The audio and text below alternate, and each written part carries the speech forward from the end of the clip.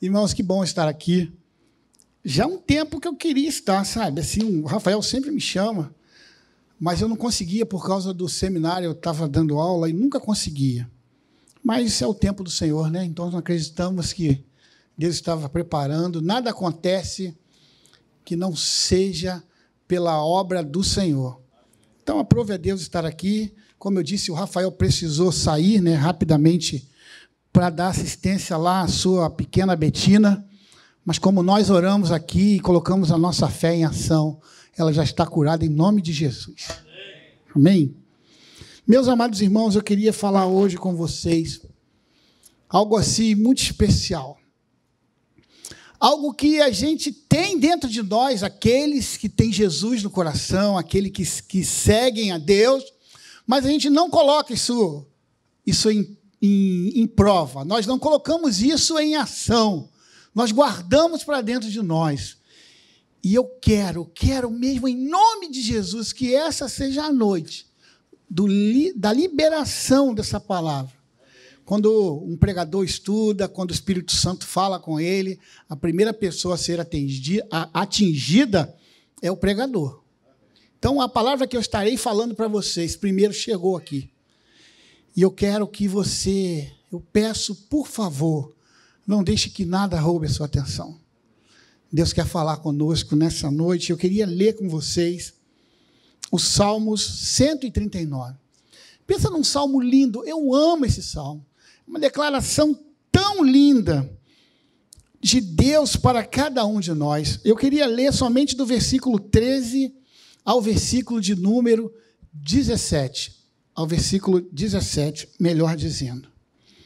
Diz assim a palavra de Deus: Tu criaste o íntimo do meu ser e me teceste no ventre da minha mãe. Eu te louvo porque me fizeste de modo especial e admirável. Em algumas traduções pode estar escrito assim, de forma extraordinária. As tuas obras são maravilhosas, digo isso com convicção. Meus ossos não estavam escondidos de ti, quando em secreto fui formado e entretecido, entretecido, como nas profundezas da terra. Os teus olhos viram o meu embrião. Todos os dias determinados para mim foram escritos no teu livro, antes de qualquer deles existir. Como são preciosos para mim os teus pensamentos, ó Deus! Como é grande a soma deles. Amém? Não é lindo? Aqui o salmista diz que nós fomos feitos de uma forma extraordinária. Se eu pudesse dar aqui um, um tema para essa mensagem, é exatamente essa. Vivendo de forma extraordinária. E o que, que significa essa palavra? Extraordinário. Que não se adequa ao costume geral ou ordinário. Algo excepcional, não ordinário, característica do que é raro ou singular. Deus nos criou, recriou para sermos extraordinários. Ah, pastor, você vai vir agora com uma mensagem agora. Dessas mensagens aí, tal, que todo mundo diz, você é isso, você é aquilo. Pior que eu vou. Mas eu vou explicar que não é da forma que eu penso, mas é da forma que a Bíblia nos orienta. Amém.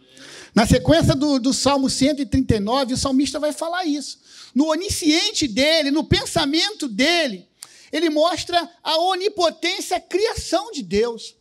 Quando, quando Deus, como um artesão perfeito, constrói a sua obra de arte num lugar. E que lugar é esse? No mais improvável. Em um lugar no secreto, na escuridão, que é o ventre materno. Ali ele enxerga com clareza a perfeição. Aquilo que ele fez, a obra-prima dele. Agora você vai entender um versículo. Pensa no versículo que é muito mal compreendido. Por isso que eu falei com vocês, logo no início. Esse versículo é muito mal compreendido. Na verdade, gostaríamos que você entendesse esse versículo agora, da forma correta. Esse versículo está lá em Deuteronômio 28, 13. O Senhor te fará cabeça, não cauda. Se você prestar atenção aos mandamentos do Senhor, seu Deus, que, ele, que eu lhe dou neste dia, e segui-los cuidadosamente, você sempre estará no topo, nunca no fundo. Sabe, irmãos, infelizmente, uma pregação hoje da, da teologia da prosperidade. E nós que precisamos fazer isso, buscar na Bíblia a origem, o que, que isso quer dizer. Nos deparamos com esse versículo, que ele está naquela categoria de versículos perigosos. Como assim, pastor? Perigosos. Porque as pessoas estão usando esses versículos para dizer assim, um exemplo, você vai ser o cara. Você vai ser o chefe. Você vai ser o patrão, sabe? Você vai ser o dono, o presidente. Mas não necessariamente é isso que Deus está dizendo. Amado, a vida do apóstolo Paulo diz exatamente isso. A conversão dele não foi fácil. Ele perdeu seus bens, ele ficou doente, ele perdeu a sua família. Por muitas vezes ele passou fome. Mas a pergunta é, ela, é esta: ele teve oportunidade de influenciar muitas pessoas? Ele não entrava de maneira nenhuma nesse rol aqui de seu cabeça, de seu cara. Mas não existe nenhum homem na palavra de Deus que sofreu tanto e deixou um legado como o apóstolo Paulo. Ele está na lista dos homens mais influentes de, deste planeta. Mas a vida dele, vocês sabem como foi. Por isso eu quero dizer para vocês que a gente vai precisar entender com muito cuidado esse pensamento. Então você pode me dizer, Paulo, Paulo foi cabeça ou foi cauda? Ele foi cabeça, porque ele era influenciador. A palavra estar aqui como cabeça é ser influenciador, não ser influenciado. Mas infelizmente nós estamos sendo influenciados a todo momento. Por isso que Jesus diz que nós somos o quê? Somos luz. O mundo não tem luz nós temos a luz. Por isso que nós temos que sair daqui e aonde quer que estejamos, precisamos mostrar a luz que temos em nós, que é Jesus. O próprio o apóstolo Paulo, o sonho dele era ir para Roma. O sonho dele era pregar em Roma e agora ele está indo, só que preso. E ele sofre ali um grande naufrágio. Eles ficam, na verdade, num, um momento difícil, uma tempestade terrível no mar Mediterrâneo. E Paulo estava onde? Aonde que apóstolo, o apóstolo Paulo estava? Lá no porão, preso. Mas quando aquela situação se torna ó, terrível, horrível, quando eles entendem ali, a tripulação entende que não tem o que fazer, lembram de quem? Ele se lembra de alguém que poderia influenciar. Vamos lá chamar o apóstolo Paulo. E aí ele passa a comandar, comandar tudo.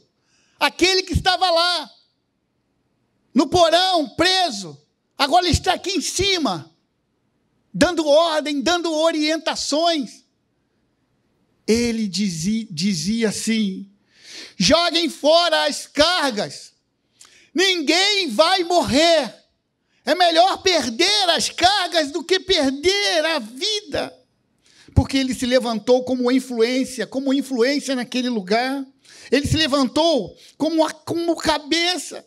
Deus fez de forma extraordinária para ser cabeça e não cauda, mas nesse sentido, vocês estão entendendo? Muitas vezes entendemos ou falamos isso de uma forma errada. Quantas vezes ouvimos essa, esse versículo e depois, como com uma teologia rasa, que você nasceu, você, você vai vencer, claro que vamos vencer. O Senhor nos diz que iremos vencer, mas existem algumas coisas que precisam acontecer para que isso, de fato, se torne real. Minha pergunta é: por que igreja abandonou a sua posição e decidiu ser cauda? Ser forte. Por quê? O que aconteceu? A igreja permite que outros outros se tornem ícones, não mais os cristãos. Deixa eu dizer algo muito importante para vocês. No ano de 2018 morreu o homem, um cristão que que todos conhecem, o maior evangelista de todos os tempos, Billy Graham. A nação mais poderosa da terra tinha como seu maior ícone Billy Graham.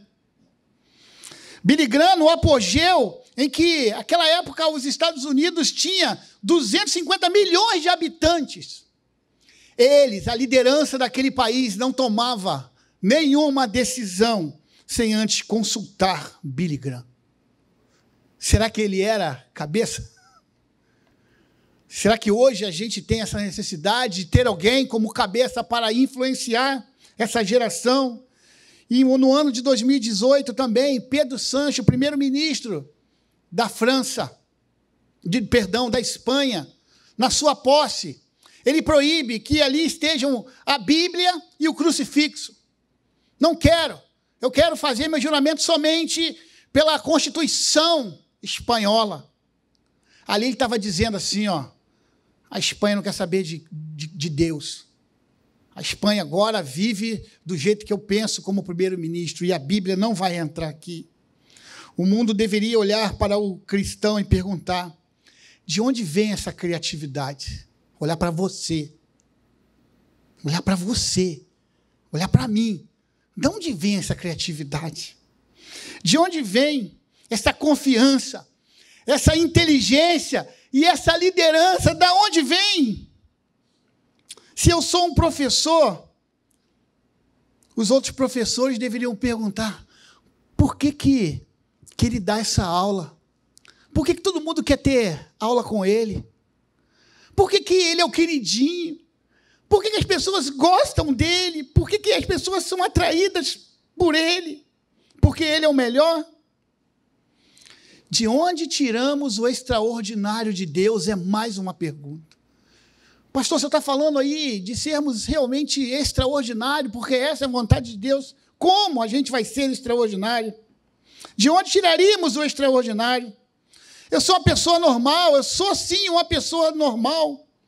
De onde você pode receber o extraordinário de Deus? Por favor, me diga onde. Claro, se você nunca for bom, se nunca você se esforçar na sua profissão, você ficará naquela mesma situação. Você não, não irá ser um destaque. Você não irá é, influenciar ninguém. Mas eu vou falar de um homem aqui que também, no Velho Testamento, foi uma grande influência naquele tempo. Daniel foi capturado e foi ser prisioneiro de guerra. Em uma nação insignificante daquela época e foi levado para a superpotência da época, a Babilônia. Não se passou muito tempo, queridos. Daniel ali preso. O rei falou daquele menino. De que forma? Ele foi levado na presença do rei.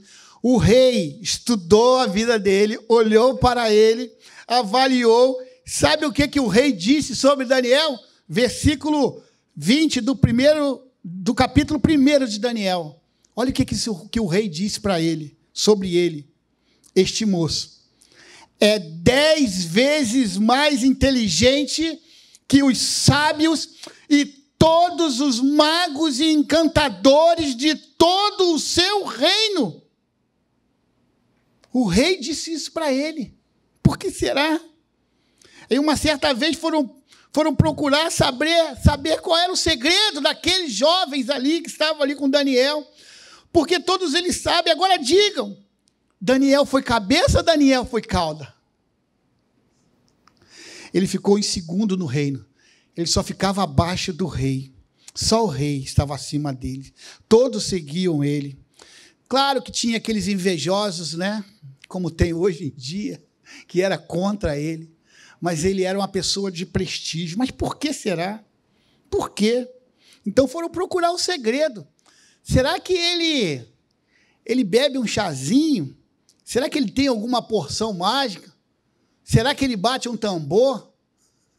Será o que, que ele faz? Tem alguma macumba? Vamos ver o que, que esse cara faz. Aí olharam e viram que Daniel se ajoelhava três vezes no dia para orar. Sabe o que, eles fizeram? Tá bom, tá proibida a oração aqui. Quem orar vai morrer. Escutem isso, amados. Ele não orava para que para ser o extraordinário de Deus. Ele orava para ter intimidade com o Pai, para ter comunhão com Deus. Ele não queria perder a ligação do Pai, ele queria que como tivesse colocado uma borracha ali, sabe? E na fonte, ligada diretamente a ele, ele recebia da fonte. Por isso que ele orava três vezes. Você consegue orar três vezes no dia. Você consegue buscar a Deus três vezes no dia. É dali que vinha a criatividade dele. Proibiram ele de orar. Ele não parou. Jogaram ele na cova dos leões. Daqui a pouco o rei vai lá saber o que está acontecendo. O extraordinário de Deus acontece. Está Daniel brincando com os leões. Ô oh, gatinho, gatinho. E ali o rei só olhando. Aí o rei olhou assim, beleza. Chama os acusadores de Daniel e joguem ele lá na cova. Queridos, aqueles homens foram jogados na cova dos leões. Antes mesmo daqueles homens caírem, chegarem ao solo, as feras comeram eles, estraçalharam seus ossos no alto. É sério, irmãos. É muito sério isso. Aí a pergunta continua: de onde vem o extraordinário de Deus? Você quer saber mesmo? Quem quer saber aqui? Amém, glória a Deus contar uma coisa que pode mudar para sempre a sua relação sobre o extraordinário e o que é normal, ou o que é fora do normal. A Bíblia vai nos, vai nos relatar em Mateus 11, 11. Preste atenção. Digo a verdade a vocês: do meio das, dos nascidos de mulher, não surgiu ninguém maior de, de quem? João Batista. Todavia, o menor do reino dos céus é maior que ele. João Batista é maior que Daniel, não é isso? Tá certo? Mas depois Jesus diz: o menor do reino dos céus é maior do que ele. Você já parou para pensar essa afirmação? Deixa eu dizer assim algo assim também muito importante para você. Eu quero ser maior que Daniel, não como uma comparação, não, mas por promessa dada por Deus. Muitas vezes, momento das nossas vidas, um momento que, que aperta, nos momentos de tristeza, nós somos o primeiro a, a, a ceder. É por isso que eu queria que nesta noite você tomasse posse disso. É uma declaração dada por Deus para mim, para você. Não é uma mensagem do, vitoriosa, como eu disse, mas é a realidade da promessa de Deus que você precisa receber. Estão lendo a palavra, você está orando, você está recebendo por fé a promessa. Então escute agora o que eu vou falar para vocês. A graça de Deus em sua vida é apenas perdoar os seus pecados. Amém. A graça do Senhor perdoa os nossos pecados. A graça é sim o pleno favor imerecido de Deus. Amém. Eu estou perdoado, porque a graça de Deus me alcançou. Um perdão imerecido. Graça é o fluir do santo para o pecador. Graça é também um ambiente de tolerância, amor e aceitação. A graça perdoadora é essa que eu falei para vocês. Mas existe algo que precisamos entender agora, nesta noite. Entendam, a graça tem dois lados. O segundo lado é o que os teólogos chamam da graça capacitadora. É essa graça que, em nome de Jesus, nós vamos pegar aqui agora. Estou perdoado. A graça me alcançou. Vou morar no céu. Amém. Mas eu quero, e Deus quer algo maior ainda com a minha vida, com a sua vida. Quem aqui já recebeu a graça perdoadora?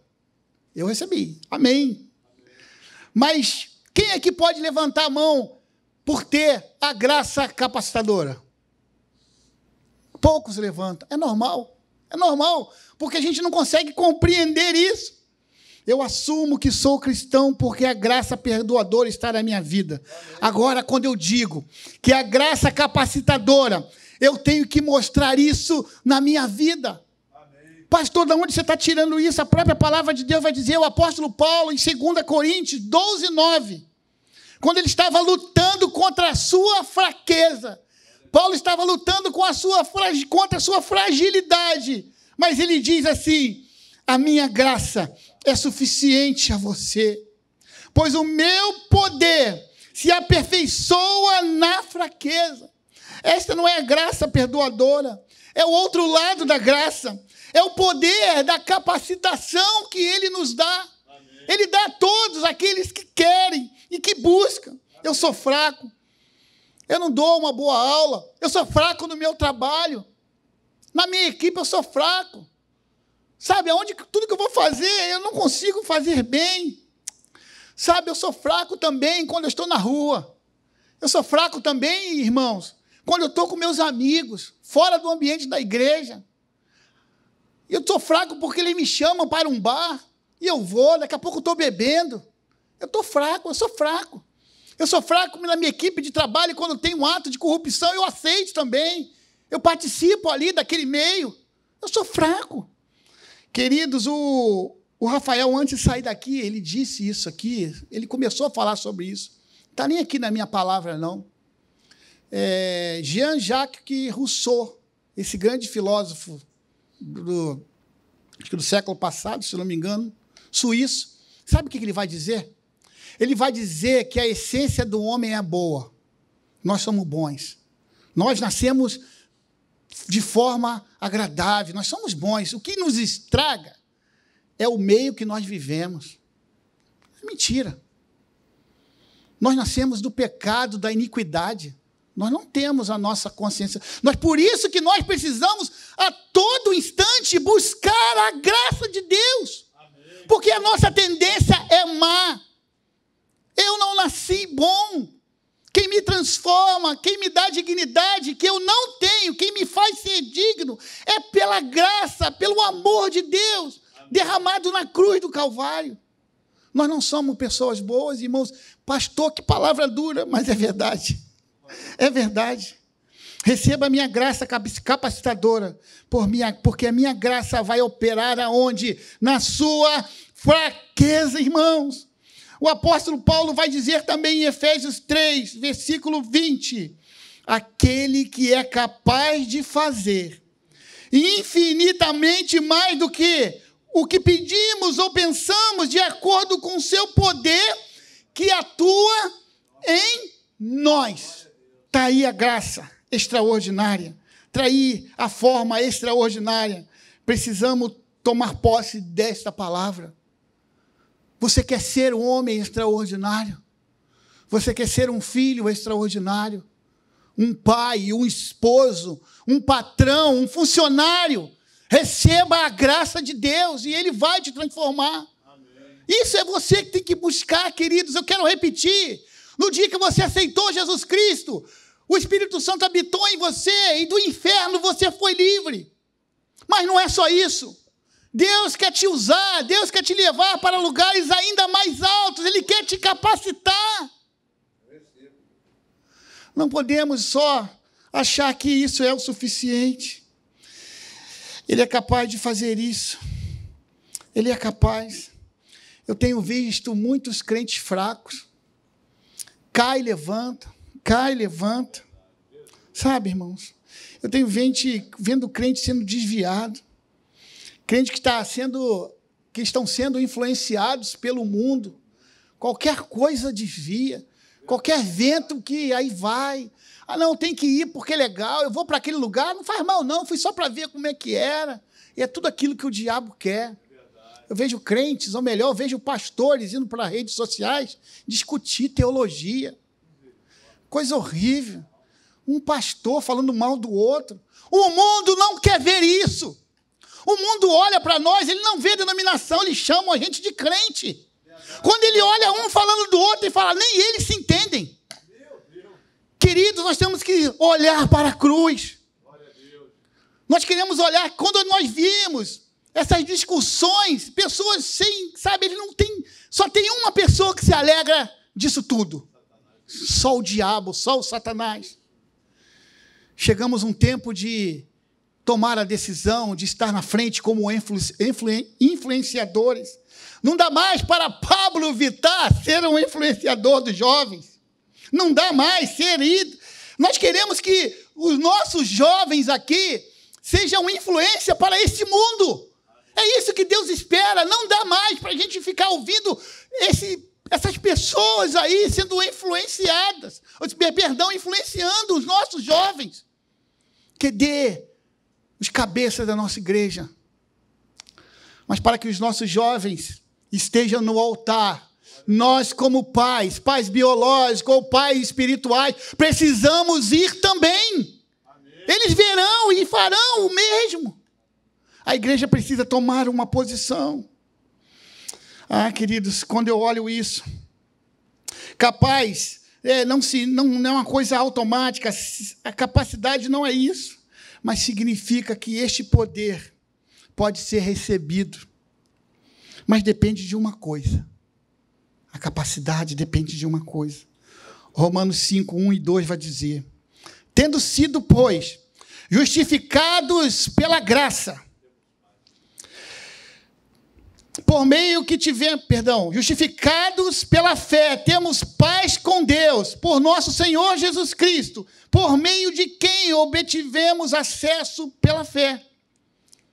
E a esta graça, na qual agora estamos firmes e nos gloriamos na presença da glória de Deus.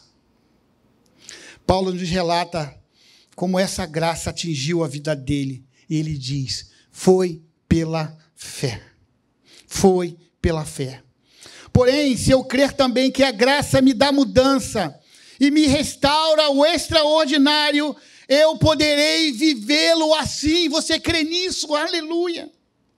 Quem acredita que Jesus morreu na cruz por nós, seguindo aquilo que está lá em João 3,16, o coração da Bíblia, porque Deus amou o mundo de tal maneira que deu seu único filho. Para quê? Tenha a vida eterna. Aí, 1 Pedro 3,9 vai dizer também: o Senhor não demora em cumprir a sua promessa, como julgam alguns. Ao contrário, ele é paciente com vocês, não querendo que ninguém mas que todos cheguem ao arrependimento. E aí? Vocês acham que todos são salvos? Todos serão salvos? Mas a gente pensa que sim. Sabe o que Jesus diz em Mateus 7, 13? Entre pela porta estreita porque larga é a porta e amplo é o caminho que leva à perdição. E são muitos que entrarão por ela.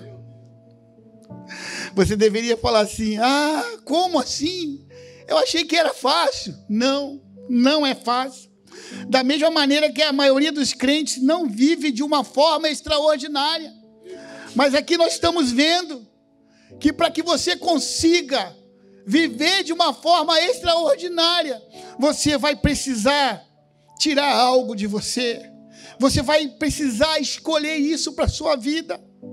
Quando você recebe a graça perdoadora e você coloca essa graça no bolso, sabe? Da mesma forma, quando você pega essa essa graça capacitadora e você somente guarda ela no bolso e você não vive o mundo vai fazer você viver da forma dele. Vocês sabiam que muitas pessoas não se convertem? Por quê? Que muitas pessoas elas não se convertem. Elas dizem que são pecadoras demais e que aqui só tem santos, só tem pessoas boas. Aí eles pensam que eles não conseguem, não vão conseguir ser evangélicos, ser cristão. É uma triste realidade. Eles acham que não vão conseguir. A igreja só tem gente bacana. Eu não mereço estar ali. Não é assim que eles pensam? Pois é, meus irmãos. Do mesmo modo assim, crente dizendo: Ah, está ali na frente, liderando uma célula, liderando um ministério, discipulando, não é para mim. Eu estou aqui no raso. Eu escolhi ficar só na superfície. Eu quero ficar só na margem, eu não quero me aprofundar. Porque eles, eu e você, podemos estar pensando que nós não somos capazes e realmente não somos. Mas quem nos capacita é o Senhor. E Ele quer fazer isso na sua vida. Ele quer fazer isso na minha vida. A vontade de Deus é que cada cristão seja cabeça e não cauda. Seja um influenciador. Que ele não seja influenciado. A mídia está aí para colocar várias coisas. Ah, são os nossos filhos, são os jovens, são os adolescentes. Não, meu irmão. Sou eu e você que estamos, de certa forma, sendo influenciados. Mas, como homens de atitude que somos e estamos aqui, hoje nós vamos receber essa graça, a graça que nos transforma, essa graça que nos capacita não queremos mais ficar às margens. Nós queremos voar alto com o Senhor. Isso está franqueado para qualquer um aqui. Deus é um Deus bondoso. Ele quer fazer de nós cabeças. Não daquela forma errada que nós ouvimos por aí. Cada cristão deveria ser uma influência poderosa. Receba nesta noite a graça de ser um homem extraordinário, segundo a vontade de Deus.